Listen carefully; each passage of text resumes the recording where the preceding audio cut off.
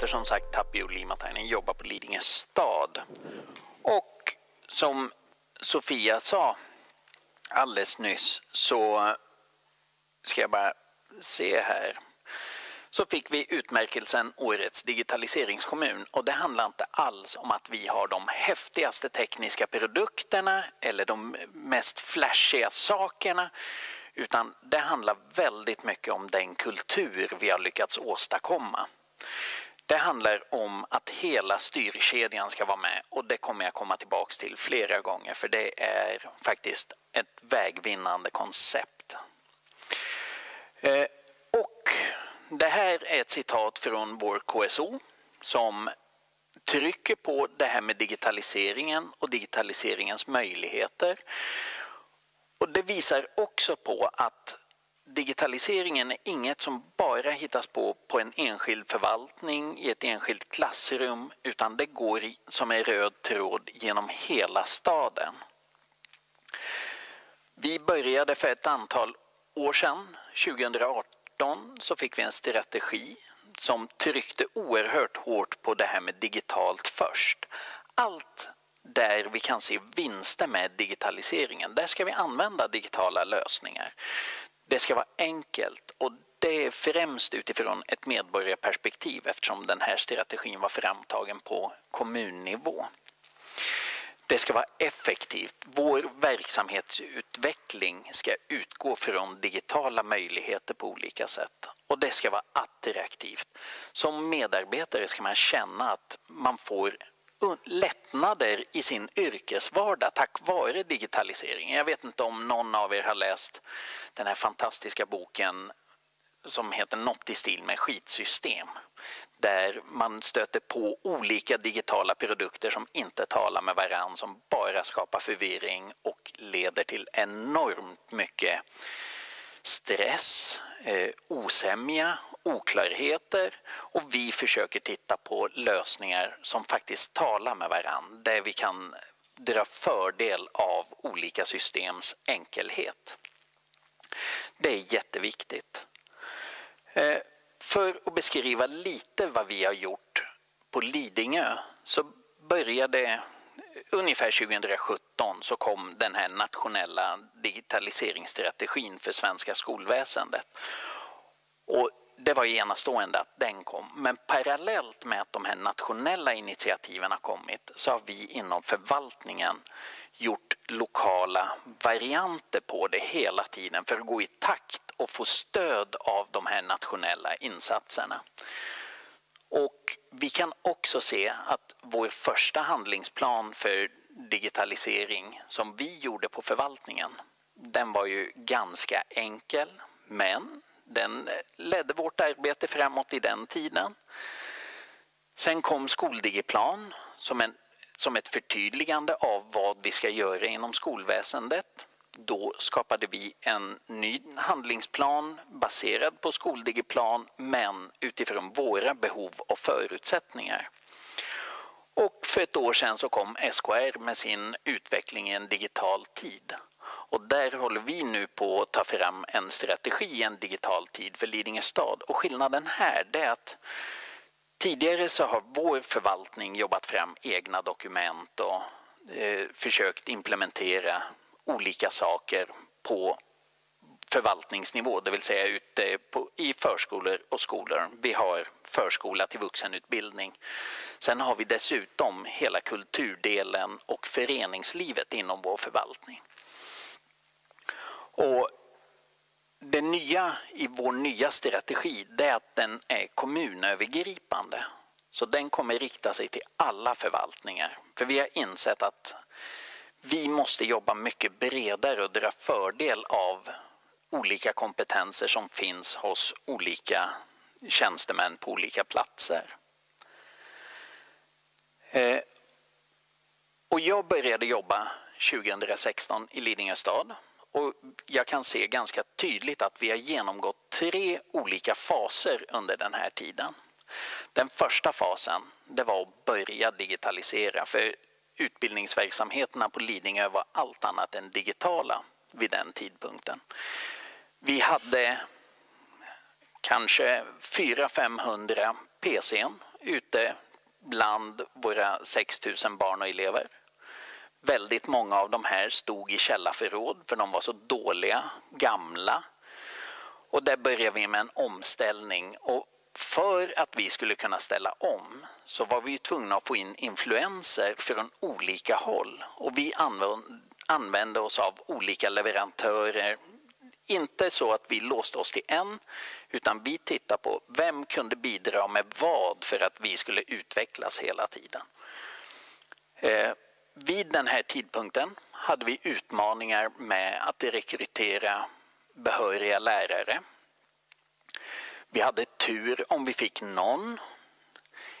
Nu, fyra, fem år senare, så kan vi se att vi har ungefär tio sökande, tio behöriga sökande på varje tjänst. Och det är inte bara digitaliseringens förtjänst, men digitaliseringen har varit en hävstång för mycket annat vi har hållit på med under de här åren.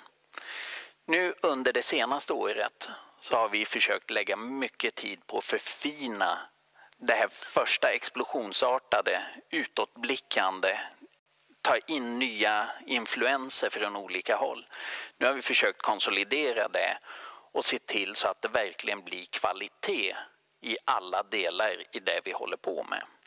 Men man kan ju inte blicka inåt för länge, för då blir man stillastående.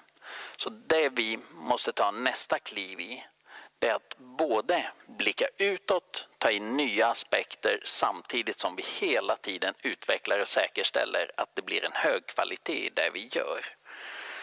Så det är det vi blickar mot just nu.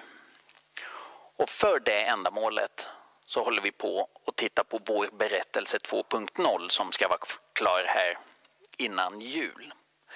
Men redan 2016 så började vi med att skapa en berättelse om vad vi vill vara och hur vi vill uppfattas inom vår förvaltning. Och det handlar 2016, ni kommer kanske ihåg att den stora flyktingkrisen kom bara året innan. Och vi insåg att vi var inte världsmästare på att ta emot de här barnen och ungdomarna, familjerna som kom. Så en, ett av våra första fokusområden det handlar om tillgänglighet. Hur kan vi bli bättre på att möta alla individer oavsett var på skalan språkligt, kunskapsmässigt, kognitivt man befinner sig. Hur kan vi hjälpa alla att bli sitt bästa jag? Ett annat fokusområde blev naturligtvis i den vevan digitalisering. För digitaliseringen kan hjälpa oss att lösa saker vi annars inte skulle. Så därför var vi ganska tidiga med studie för alla våra elever. Och det är ju en hjälp där vi inte har språket kanske i alla lägen så kan vi riva barriärerna och utveckla eleverna ändå. Vi började, initierade ett samarbete med Harvard kring tillgänglighet och som sen har blivit mer fokus på UDL, Universal Design for Learning, som vi håller på med nu. Och det handlar ju också om det här att se till varje individs behov, inte bara hela gruppen som en enhet. Och det tredje fokusområdet vi valde ut här, det var ledarskap för lärande. För vi insåg att ska vi få en framåtrörelse, då måste alla lärare och medarbetare kompetensutvecklas tillsammans. Och initialt så hade vi ett stort fokus på rektorer och politiker. Vi tog dem till BET. Några grupper åkte till Harvard. Vi hade med politiker till BET för att få politiken att förstå vad måste vi göra, hur måste vi ställa om det här. Och politikerna förstod och började samagera vilket möjliggjorde den utveckling vi har gjort. För utan att alla skulle varit med så skulle vi inte vara där vi är idag. Eh, jag, så, så den här bilden till vänster så har man en illustration av vår styrkedja. Den är A och O. Utan den så blir det faktiskt ingenting. det är nyckeln att alla i en kommun eller hos en huvudman driver åt samma håll. Våra tre fokusområden som jag nämnde och sen har vi delat in kompetensutvecklingen i en pyramid. Där steg ett det är förvaltningsövergripande saker, sånt som vi erbjuder till alla verksamheter eller alla grundskolor eller alla förskolor. Det kan vara olika initiativ. Vi hade Leda för digitalisering, Skolverkets utbildning för alla rektorer. Vi har haft UDL-utbildningar. Vi har STL-utbildningar, de kommer jag in på senare. Sådana saker som vi erbjuder från huvudmannahåll till alla. Sen steg två, det är det som sker på den egna enheten, förskolan eller skolan. För det är ju så att alla har inte alltid samma behov utan det kan se ganska olika ut. Eh, och där måste ju rektor tillsammans med sin medarbetargrupp titta på vad har kvalitetsarbetet gett vid handen? Hur ser det ut? Vad blir vårt nästa steg lokalt att fokusera på? Och sen den tredje och absolut viktigaste delen. Det är individens egen kompetensutveckling. Lite det Jocke var inne på här för en liten stund sedan när hon talade om de sociala nätverken där lärare aktivt går ut, delar, tar till sig av olika, och inte bara lärare utan alla rektorer, skolhuvudmän. Jag insåg ju under våren att många verksamheter, både kommunala och fristående, hade tänkt lite snabbare inom vissa aspekter än vad vi hade gjort och de delar generöst med sig till oss och vi hade tänkt snabbare på, inom andra områden och det delar vi med oss. Och det tror jag var en framgångsfaktor för hela svenska skolan att så många hjälpte till så mycket. Och vi hade dessutom förmånen att få vara med och bidra en del till projektet Skola hemma inom ramen för RISE-samarbetet som vi ingår i.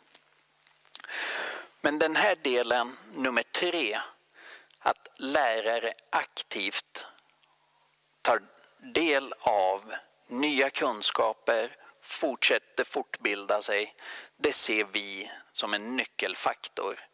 Vi som huvudman kan erbjuda vissa saker, skolan kan erbjuda vissa, men läraren är själva nyckeln och måste och bör fortsätta jobba hela tiden för att hålla sig relevant genom ett helt arbetsliv.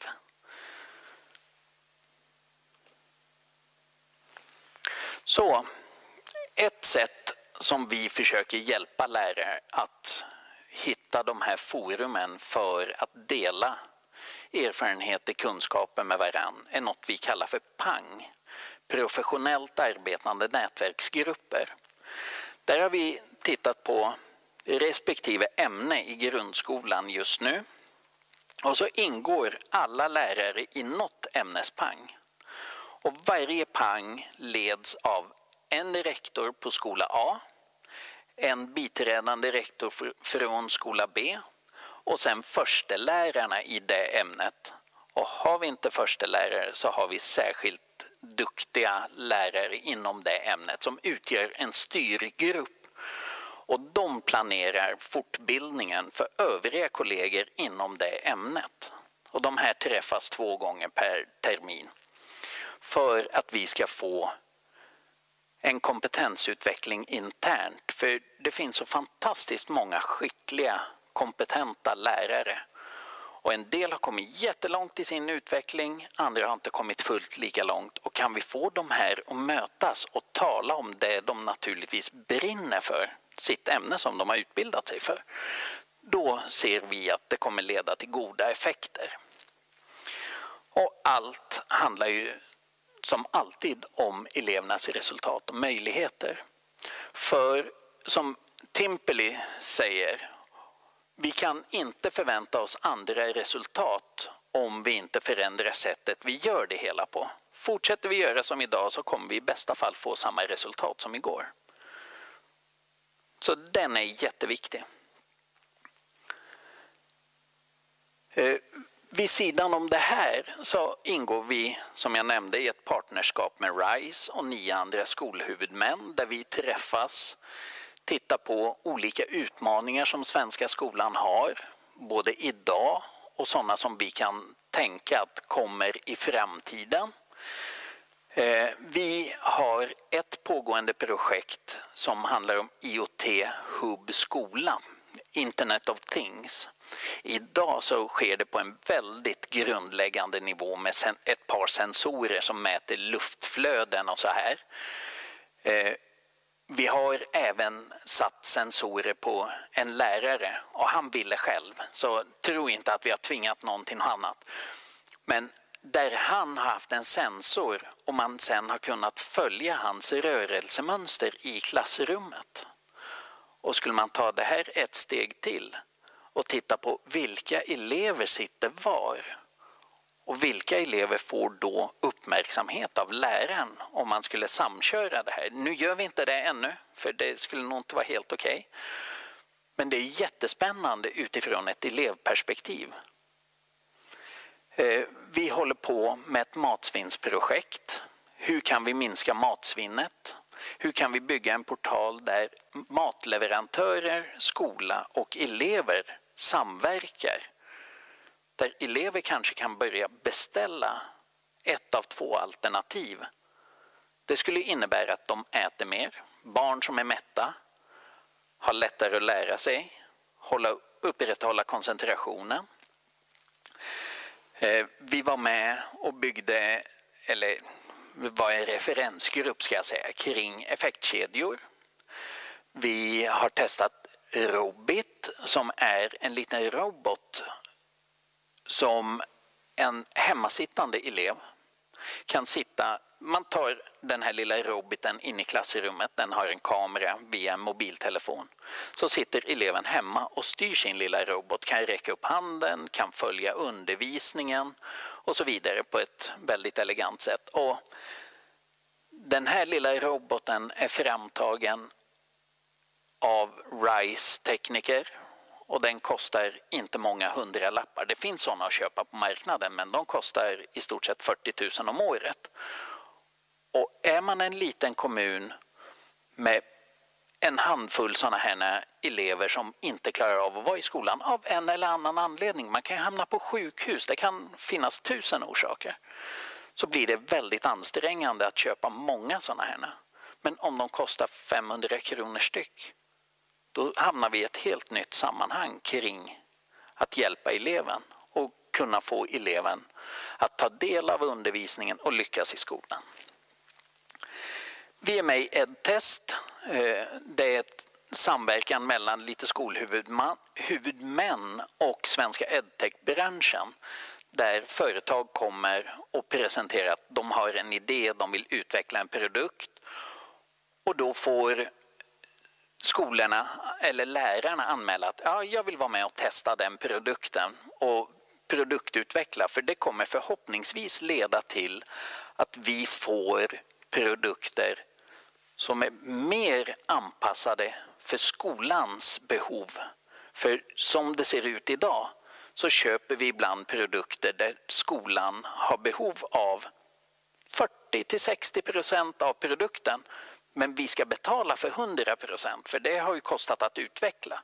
Så genom en sån samverkan så kanske vi kan komma lite närmare det här med att faktiskt bara betala för det vi vill. Och det kommer ju gynna edtech-företagen också. Eh, vi är i startgroparna att utveckla någonting som heter Digimat. Det är en matematikapp, eller den finns redan, men vi ska ingå i ett forskningsprojekt där. Och det är adaptiv matematik som ska gå från förskolan upp genom hela grundskolan. Och det är jättespännande att se hur kan vi hitta fler adaptiva läromedel som ger eleven och läraren omedelbar återkoppling på hur går det, varför går det som det går och vad behöver man då öva på vid sidan om istället. Sen det jag nämnde för en liten stund sedan att vi idag är väldigt lyckligt lottade med att ha tio behöriga sökande på varje tjänst har medfört att vi tillsammans med ett företag som heter Reachers ska göra en Vinnova-ansökan. Nu i och med vårens händelser så har det här med distansundervisning på olika sätt kommit i ropet på ett, nytt, på ett annat sätt. Eh, Skolverket tittar på möjligheter, kan man öppna upp lagstiftningen mer för fler? Och vi som finns i vissa storstadsregioner eller nära lärosätena kan ju många gånger ha lättare att rekrytera folk än ute på landsbygden. Och kan vi då ta in någon eller några extra som som del av sin tjänst utbildar andra delar i landet så kan vi få ett sammanhållet rike i Sverige där alla hjälps åt att ta ansvar för utbildningen. För det spelar ingen roll om du bor i på Lidingö eller i Gällivare så har du rätt till exakt lika god utbildning och det behövs för hela landets framtid. Så vi kan inte bara titta lokalt utan vi måste titta nationellt också.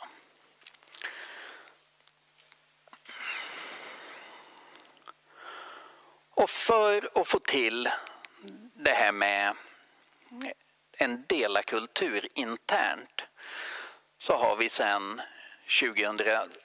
2017 haft en deladag. En av dagarna på höstlovet så har vi uppmanat olika lärare som är duktiga inom olika områden att hålla föreläsningar eller seminarier för sina kollegor. Och vi har lyckats göra det här under en hel dag där vi har erbjudit 70-80 olika aktiviteter för alla grundskolans lärare. Och det har blivit ett väldigt uppskattat inslag för olika individer får möjligheten att skina. De får stå på scen och berätta för sina kollegor om vad, hur och varför de gör olika saker. Och andra får nya insikter och blir förhoppningsvis sugna att nästa år eller om två år, då är det jag som står där och får vara med och dela med mig av mina goda exempel. Och som jag var inne på så håller vi på med STL, skriva sig till lärande. Det, nu kör vi igång fjärde kullen så vi har lite drygt 100 medarbetare av 600 lärare som har genomgått det här. Nu till hösten så kör vi igång STL matematik för mellanstadiet. Eh, och det är ju en jättefin och positiv fortbildning där dels lärarna ingår i olika eh, utbytesgrupper och ger varandra feedback på sina arbeten. Men även eleverna förväntas ge återkoppling till varandra på sina arbeten. Och då bygger vi det här ansvaret för varandra och tillsammans i en god anda, god ton. Vi ska stötta och hjälpa varandra att bli ännu bättre och lyckas mer. Vi använder oss av Lexplore. Vi screenar alla elever från ettan till sexan två gånger om året. Nu håller vi på att testa att screena sjuan till nian också. Och det här är ett enastående exempel på när digitalisering och pedagogik kan mötas. För de diskussioner som uppstår mellan lärare när de tittar på sina olika resultat. Hur gör du? Varför når du? Hur kan vi lyfta alla? Vi går inte in som huvudman och tittar på, jaha, du har minsann så många röda och inte så många mörkblåa, utan vi vill ju se en progression i barnens, elevernas läsande. Och det kan vi se i det här systemet. Och då kan man å andra sidan tänker att ah, men, ah, vad vi håller på mycket. Vi håller på med att skriva sig till lärande, vi håller på med Lexplore, vad mycket text vi håller på med hela tiden. Men den svenska skolan är väldigt textbaserad idag.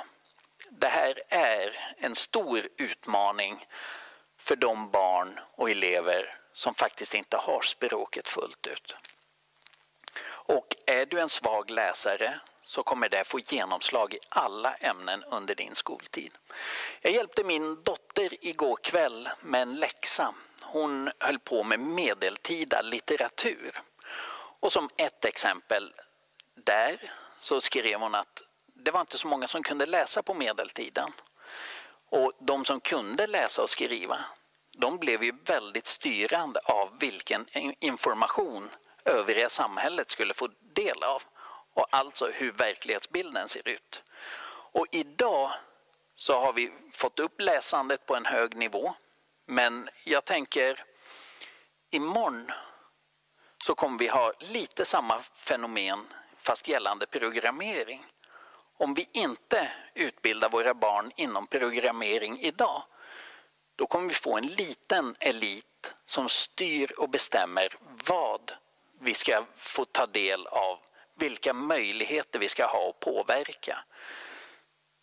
Så just idag så är läsandet och digitala verktyg en förutsättning för att kunna ta del av samhällsutvecklingen, vara med och påverka på olika sätt. Men många har ifrågasatt programmeringen och ska vi ha så mycket sånt i skolan? Och jag tror att det är precis det vi måste tillsammans med massa annat inom det här fältet. Det var en liten utsvävning men jag kunde inte, det bara kom. Eh, UDL håller vi som sagt på med. Och det är ju en metod för att säkerställa att vi möter alla elever. Eh, tidigare är min upplevelse att man har planerat väldigt mycket för mittfåran i en normalfördelningskurva. Och det gör att vi sen reaktivt måste hjälpa dem som inte klarade, inte kunde, inte förstod. Och då har vi flera aspekter i det. Dels har vi säkerställt att eleven har i alla fall misslyckats minst en gång för att vi ska reagera överhuvudtaget. Sen blir det väldigt kostsamt och ineffektivt att jobba med samma sak flera gånger. Om vi istället jobbar proaktivt och säkerställer att alla elevers behov blir tillgodosedda, även de som har det väldigt lätt för sig. För om skolan inte är utmanande och intressant och relevant, då kommer man ägna sig åt andra saker än skolarbete, tror jag.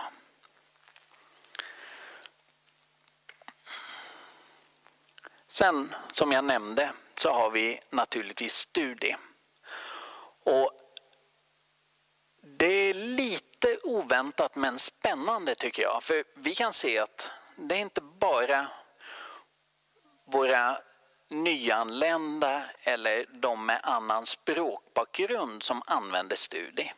Studie används i lika hög grad av etniskt svenska elever.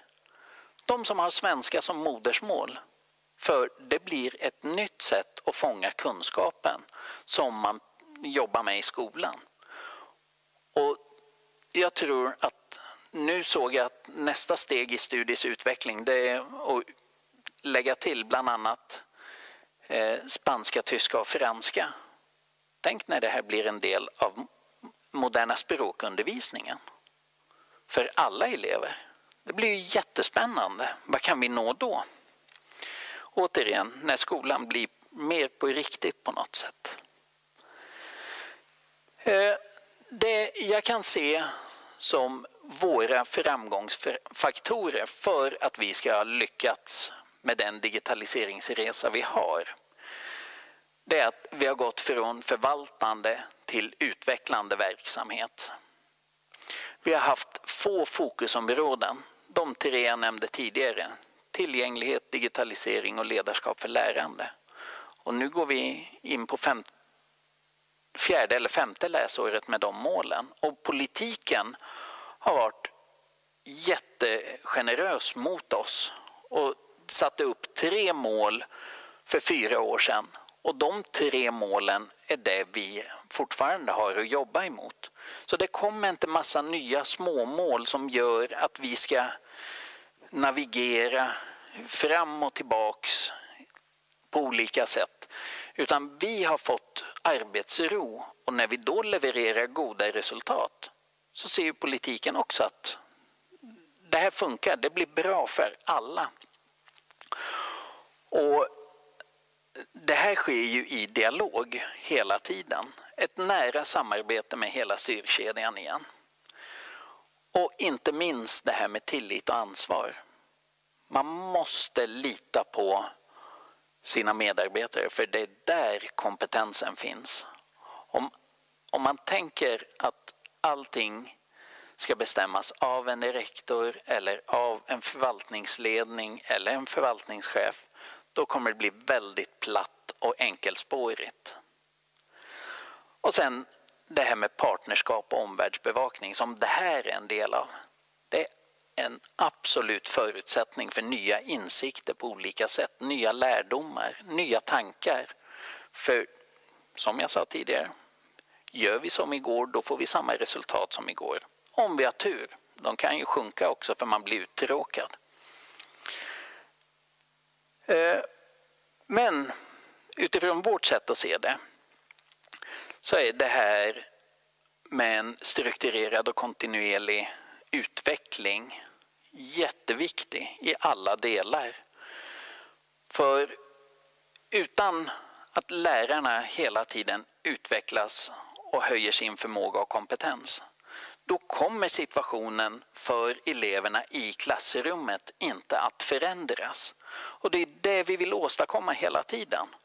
Det är syftet med allt. Det finns inget annat ingångsvärde än att barnen och eleverna ska lära sig bättre och få ännu större möjligheter att påverka sin egen framtid. För vi har ju sett ett flertal studier som visar att barn som fixar grundskola och sen gymnasieskola de klarar sig betydligt, betydligt bättre i framtiden än de som misslyckas i skolan på ett tidigt stadium. Så vi måste ju få alla att bli godkända för att öppna dörrar för framtiden. Och sen måste vi få de som kan komma betydligt mycket längre att göra det. Vi kan inte nöja oss på en god nivå.